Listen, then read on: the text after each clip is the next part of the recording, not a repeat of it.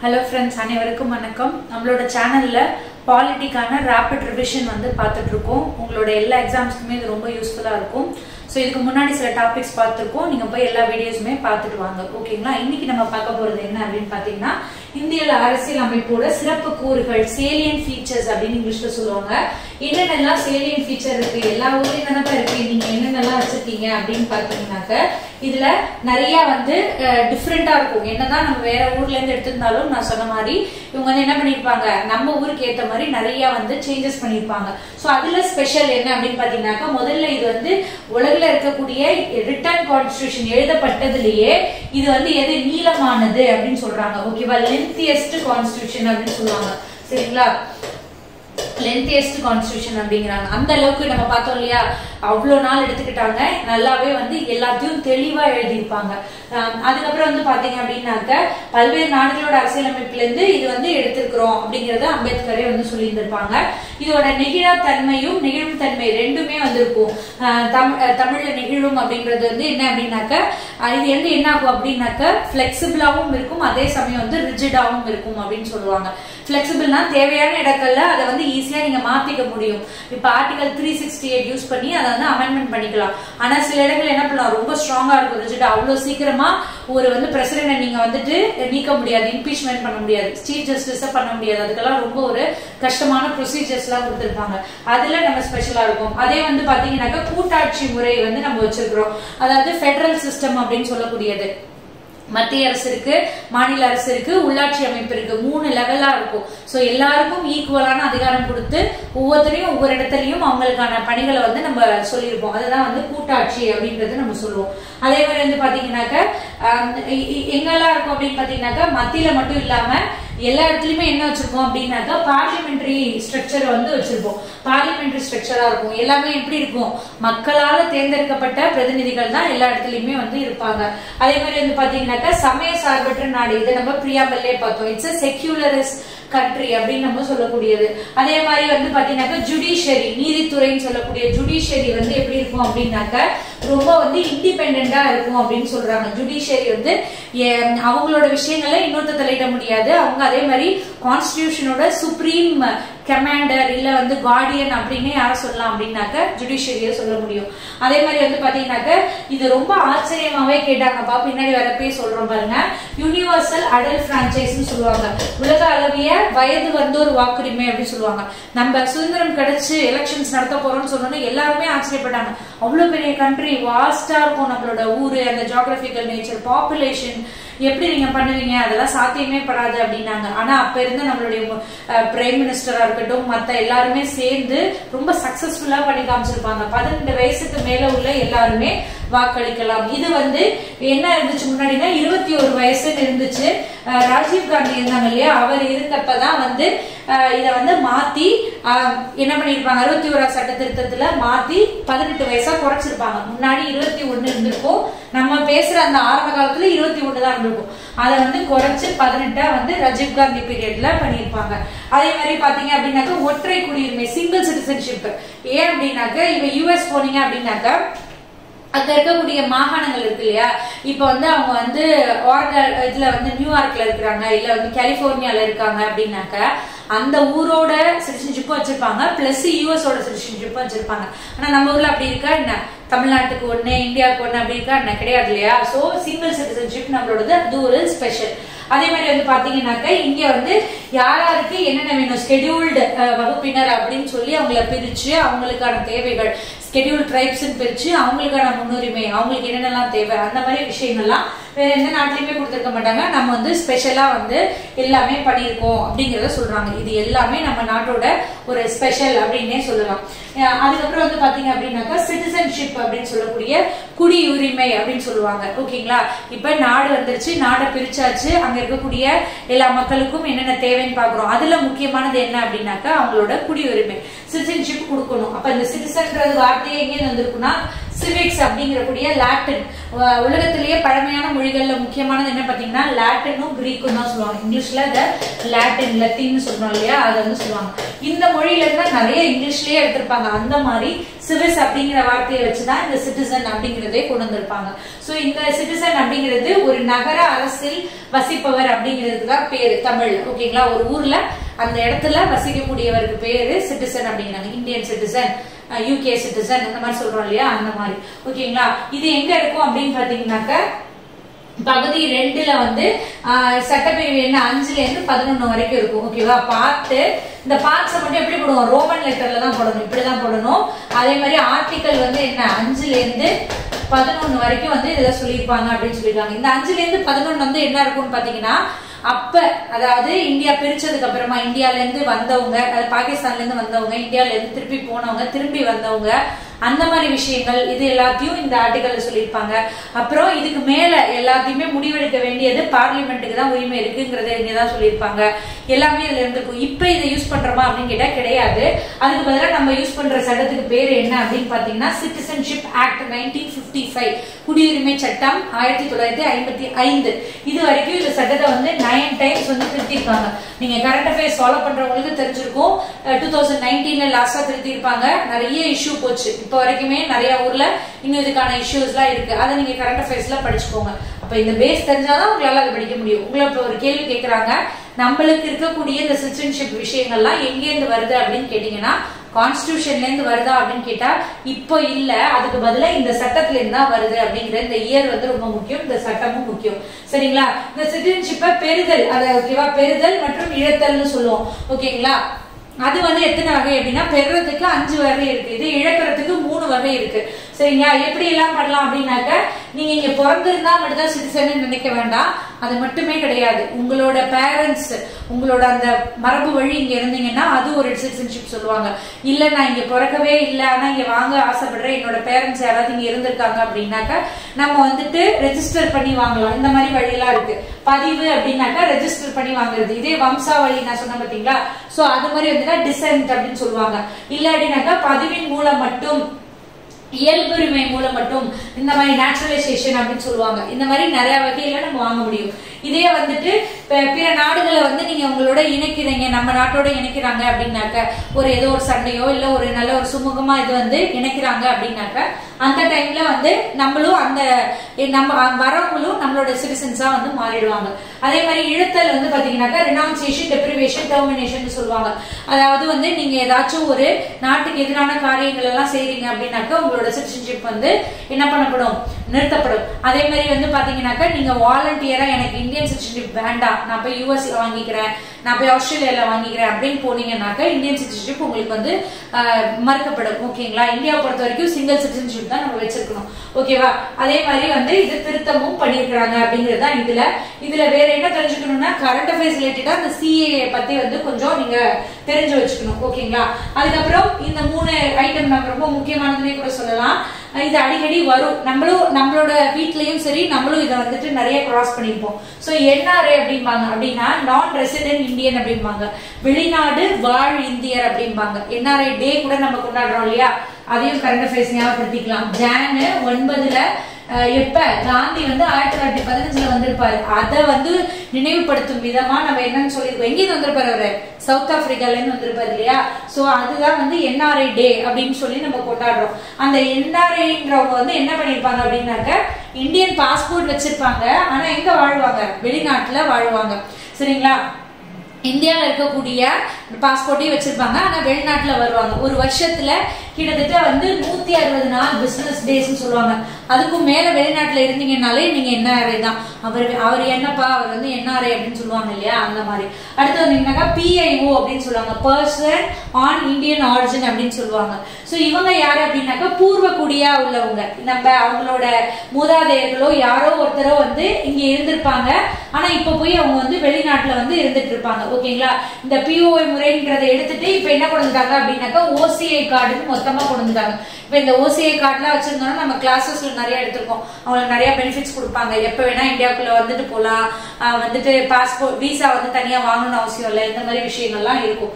இதே வந்துட்டு வெளிநாட்டு குடியுரிமையை பெற்று வந்து என்ன பண்ணிருப்பாங்க வசிப்பதற்கான அந்த ஓசி கார்டை மட்டும் வச்சிருப்பாங்க இந்தியாவோடது அப்படின்னா அவங்க வந்து ஓசின்னு சொல்லுவாங்க.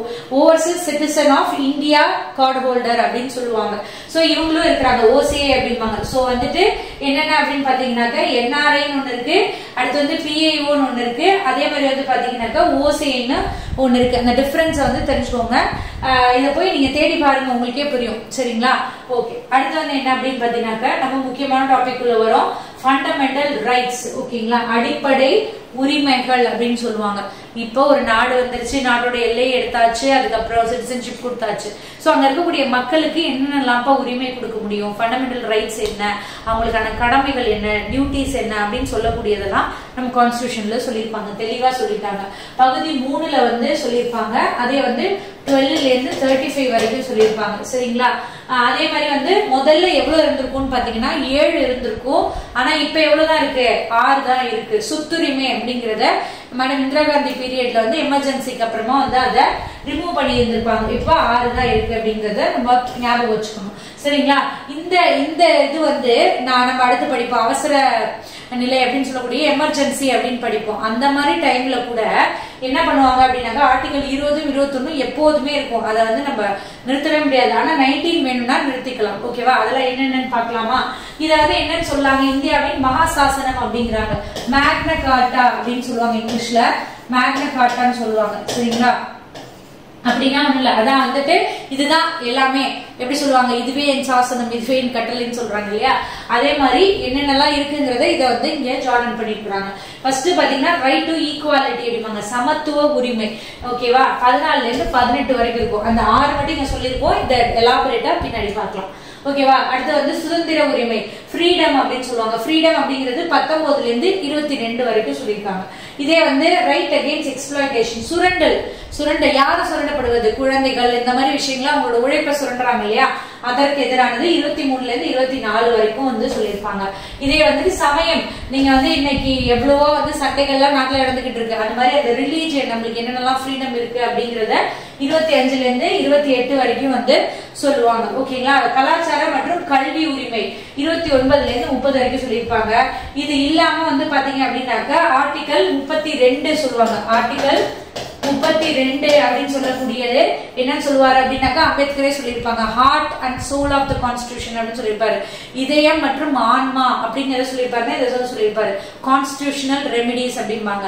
என்னன்னாக்கா நம்மளுடைய தீர்வு காணும் உரிமை. சரிங்களா? ஏதாச்சும் உங்களோட ஃபண்டமெண்டல் ரைட்ஸ் வந்து வயலேட் ஆகுது அப்படின்னாக்கா நீங்க டைரக்டா சுப்ரீம் கோர்ட்ல போயிட்டு இந்த ஆர்டிகல் கீழே நீங்க கேஸ் போடலாம். இதே ஆர்டிகல் டூ டுவெண்ட்டி சிக்ஸ் என்ன ஹைகோர்ட்ல போய் நீங்க போடலாம். இதெல்லாம் நம்ம கிளாஸஸ்ல பழைய வீடியோஸ்ல எல்லாம் எடுத்திருக்கோம். போய் பார்க்கலாம் ஸோ சோ இதெல்லாம் தான் உரிமைகள் அப்படின்னு சொல்லக்கூடியது. சோ இதை ஒன்னொன்னா பார்க்கலாம்.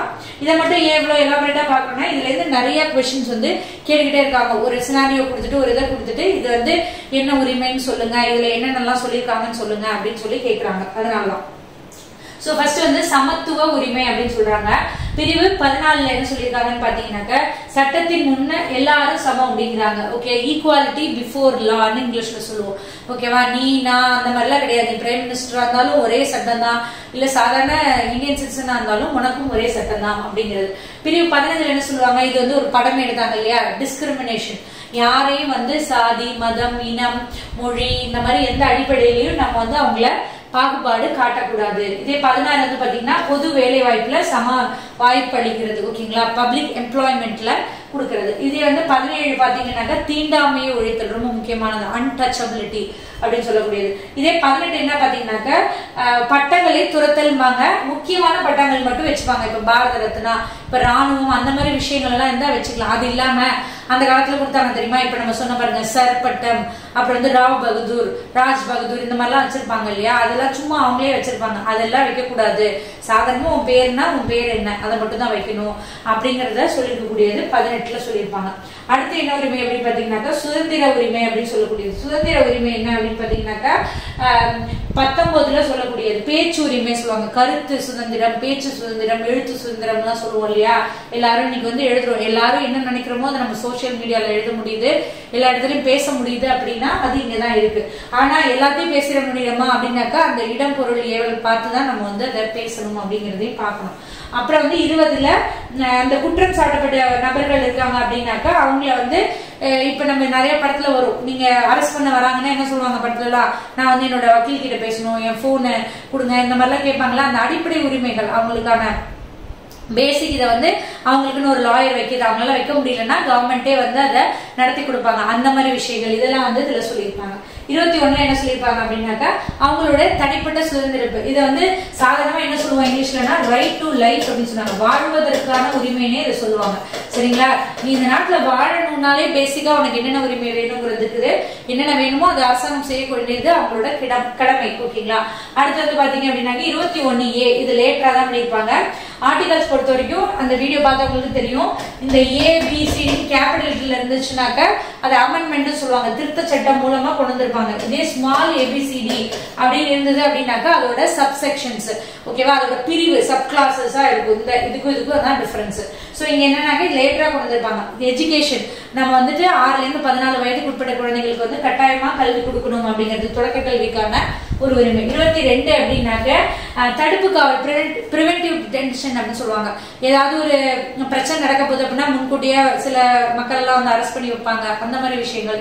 அதெல்லாம் வந்து பண்றதுக்கான தடுப்பு உரிமை. அதை வந்து பண்ணக்கூடாது. தேவையான இடத்துல தான் பண்ணணுங்கிறதுக்கான உரிமை எல்லாமே இதில் சொல்லியிருப்பாங்க. அடுத்து வந்து பாத்தீங்கன்னாக்க சுரண்டலுக்கு எதிரான உரிமை நான் சொன்னேன் இல்லையா? குழந்தைகள் மெயினா சரிங்களா? குழந்தை தொழிலாளர்கள் இன்னைக்கு வந்து பல இடங்கள்ல அழிக்கப்பட்டிருக்கு. சோ வந்து அதை வந்து அப்போ நிறைய தேவைப்படுங்கிறதுக்காக சொல்லியிருப்பாங்க. இருபத்தி மூணுல கட்டாய வேலை கொத்தடிமை முறை இந்த மாதிரி விஷயங்கள்லாம் வந்து சொல்லியிருப்பாங்க. இருபத்தி நாலுல அவங்களை வந்து தொழிற்சாலை மற்றும் ஆபத்தான இடங்கள்ல வந்து பணியமர்த்த கூடாது அப்படிங்கிறதுக்காக சொல்லியிருப்பாங்க. அடுத்து வந்து சமய சார்பு உரிமை அப்படின்னு சொல்லுவாங்க சரிங்களா? கல்ச்சரல் அண்ட் எஜுகேஷனல் ரைட்ஸ் அப்படின்னு சொல்லுவோம். ஸோ இருபத்தி அஞ்சுல நம்மளுக்கு எந்த மதத்தையும் இல்ல மதத்தையே பின்பற்றாம இருக்கிறதுக்கோ எதுக்குமே நம்மளுக்கு உரிமை இருக்கு. அதே மாதிரி அது சம்பந்தமான விஷயங்களை வந்து நிர்வகிக்கிறதுக்கு இருபத்தி ஆறு. இருபத்தி ஏழு எந்த ஒரு மதத்தையும் பரப்புறதுக்கும் நல்லா ஞாபகம் வச்சுக்கணும் பரப்புறதுக்குமே இருக்கு. ஆனா பரப்புறது இங்க ப்ராப்ளம் கிடையாது. அதை வந்து அடுத்தவங்க மேல திணிக்க கூடாது அந்த மாதிரி இருந்தாலும் நம்ம கான்ஸ்டியூஷன்லயே வந்து அது சொல்லல. ஓகேங்களா? இருபத்தி எட்டுல வந்து அதை சார்ந்த கல்வி நி- நிறுவனங்கள் மைனாரிட்டி காலேஜ் மைனாரிட்டி ஸ்கூல்ஸ் எல்லாம் இருக்கும் இல்லையா? அதெல்லாம் நடத்துறதுக்கான உரிமை இருக்கு. அடுத்து வந்து பாத்தீங்கன்னா கல்வி மற்றும் அது எஜுகேஷனல் மற்றும் கல்ச்சரல் இது வந்து ரிலீஜியஸ் இது வந்து கல்ச்சரல் ஓகேவா இது வந்து இருபத்தி ஒன்பதுல சொல்லியிருப்பாங்க. என்னென்னலாம் கல்ச்சரல் பாதுகாப்பு நம்மளுக்கு இருக்கு அப்படிங்கிறது அதே வந்து கல்வி நிறுவனங்களை வந்து வ- உரிமை கொண்டாடுவது. ஓகேங்களா அதுக்கப்புறம் வந்து பாத்தீங்கன்னா இதான் சொன்னேன் அரசியலமைப்பு உட்பட்டு தீர்வு காணும் உரிமை அப்படின்னு சொல்லக்கூடிய முப்பத்தி ரெண்டு. இதுல வந்து அம்பேத்கரே சொல்லியிருந்திருப்பாரு ஹார்ட் அண்ட் சோல் அப்படின்னு சொல்லிட்டு. ஸோ அதை நம்ம ஆல்ரெடி சொல்லிட்டோம். அதுக்கப்புறமா எப்ப எடுத்தாங்க அப்படின்னு சொன்னோம் இல்லையா? அதையும் போட்டிருக்கோம். ஸோ ஆயிரத்தி தொள்ளாயிரத்தி எழுபத்தி எட்டுல நாற்பத்தி நாலாவது சட்ட சிற்று- திருத்தத்துல தான் என்ன பண்ணிருக்காங்க? சொத்துரிமை அப்படிங்கிற முப்பத்தி ஒண்ணுல இருந்திருக்கும். நீங்க ஆர்டிகல்ஸ் வரிசையா படிச்சீங்கன்னா முப்பத்தி ஒண்ணு இருக்காது. ஸோ அதை எடுத்துட்டு எங்க கொண்டு போய் வச்சுட்டாங்க? பாட்டு பன்னெண்டுல முந்நூறு ஏழு கொண்டு போய் வச்சிருக்காங்க. அப்ப இதுக்கு முன்னாடி சொத்து வச்சுக்கணும் அப்படிங்கறது அடிப்படை உரிமையா இருந்தது. இப்ப இருந்தா எப்படி இருக்கும்னு யோசிச்சு பாருங்க. அதை எடுத்துட்டு நம்மளுக்கு இப்ப லீகல் உரிமையா போயிடுச்சது ஓகேவா சட்டப்பூர்வமான உரிமை. ஒருவேளை எனக்கு வந்து இந்த சொத்துல பிரச்சனை இருந்தா நான் போய் சட்டத்தை அணுகலாம். ஆனா வந்து எனக்கு அடிப்படையா சொத்து இருக்கணும் அப்படிங்கறத வந்து எடுத்துட்டாங்க. இந்த நாட்டிலுமே இது மோஸ்ட்லி இருக்காது. சோ இது எல்லாமே வந்து இதுலதான் வந்து நம்ம சொல்லியிருப்போம். என்ன பார்க்க போறோம் அப்படின்னாக்க டிபிஎஸ்பி அப்படின்னு சொல்றாங்க. அப்படின்னாக்கா அரசுக்கு வழிகாட்டும் நெறிமுறைகள். இப்ப நீங்க வந்து சிட்டிசனுக்கு என்ன அந்த மாதிரி எல்லாம் சொல்லி முடிச்சிட்டீங்க. இப்ப என்னன்னாக்கா ஒரு ஒரு ஊரு ஒரு ஸ்டேட் இருக்கு. ஸ்டேட்னா இங்க நான் மாநிலங்களை சொல்றேன். ப்ராவின்ஸ் இருக்கு அப்படின்னா அவங்க என்னென்னலாம் பண்ணணும்? அப்ப அவங்க வந்து ஒரு அந்த மாநிலத்து மக்களை வந்து பாக்குறதுக்கு என்னென்ன விஷயங்கள்லாம் பண்ணணும்? எங்கேருந்து அவங்க வந்து இதெல்லாம் பண்ணணும் பண்ணக்கூடாது தெரிஞ்சுக்கணும்னா இதுல இருந்தா எடுத்துக்க முடியும்? இது எங்க இருந்து படிச்சோம். அயர்லாந்துன்னு படிச்சோம் இல்லையா? அயர்லாந்துல இருந்து எடுத்திருப்பாங்க இல்லையா? பார்ட்டு போர்ல வந்து சொல்லியிருப்பாங்க. அதே மாதிரி வந்து ஆர்டிகல் முப்பத்தி ஆறுல இருந்து ஐம்பத்தி ஒண்ணு வரைக்கும் சொல்லியிருப்பாங்க. ஓகேவா இது ஏன் பிரிச்சிருக்கேன் அப்படின்னு பாத்தீங்கன்னா இது உங்களுக்கு படிக்கிறப்ப இருக்கும். இதை வந்து நீங்க போய் எடுத்து பாத்தீங்கன்னா நம்மளோட கான்ஸ்டியூஷன்ல இப்படி பிரிச்சுலாம் இருக்காது. இது நம்மளோட வசதிக்காக இது பிரிக்கப்பட்டிருக்கு. அதுக்கு முன்னாடி இதே என்ன சொல்லியிருப்பாரு அம்பேத்கர்னு பாத்தீங்கன்னா நாவல் ஃபியூச்சர் அப்படின்னு சொல்லியிருப்பாரு. அப்படின்னா தமிழ்ல புதுமையான ஒரு சிறப்பம்சம் வாய்ந்தது. எந்த உரிமை இந்த அளவுக்கு இருக்காது. நம்ம வந்து கொடுத்துருக்கோம் அப்படிங்கறத சொல்லியிருப்பாரு. இதை மூணா வைக்கிறாங்க. ஒன்று சோசியலிஸ்ட் காந்தியன் லிபரல் அப்படின்னு பிரிச்சிருப்பாங்க. அதாவது சமதர்ம கொள்கைகள் காந்திய கொள்கைகள் மற்றும் தாராளமய கொள்கைகள் அப்படின்னு பிரிச்சிருப்பாங்க. அந்த இதுல இருக்கக்கூடிய அத்தனை ஆர்டிகளையும் இதெல்லாம் இப்படி அப்படின்னு படிச்சிருப்பாங்க. நான் ஒண்ணு ரெண்டு மட்டும் சொல்றேன். இப்ப பாத்தீங்கன்னா காந்தி வந்து என்ன சொல்லியிருப்பாரு? அவரோடது அகிம்சைன்றது முதல் விஷயம். அடுத்து என்ன சொல்லியிருப்பாரு அப்படின்னு பாத்தீங்கன்னாக்கா நம்ம இந்தியாவோட வளர்ச்சி அப்படிங்கிறது எங்க தான் இருக்கு? கிராமங்கள்ல தான் இருக்குன்னு சொல்லியிருப்பாரு இல்லையா? சோ அந்த கிராமம் உள்ளாட்சி லோக்கல் பாடி சம்பந்தப்பட்ட அனைத்து ஆர்டிகளுமே காந்திய கொள்கையில வந்துடும் இப்ப பாத்தீங்கன்னாக்கா பஞ்சாயத்து அப்புறம் காட்டேஜ் இண்டஸ்ட்ரி கோஆபரேட்டிவ் இந்த மாதிரி விஷயங்கள் எல்லாமே இந்த அப்புறம் வந்து மது ஒழிப்பு முக்கியமா சொல்லியிருப்பாரு இல்லையா? அதெல்லாம் இதுல வந்துடும் இதே வந்து சமதர்மத்தை பின்பற்றக்கூடியது. எல்லாருக்கும் எல்லாம் கிடைக்கணும்னு சொல்லக்கூடிய விஷயங்கள்.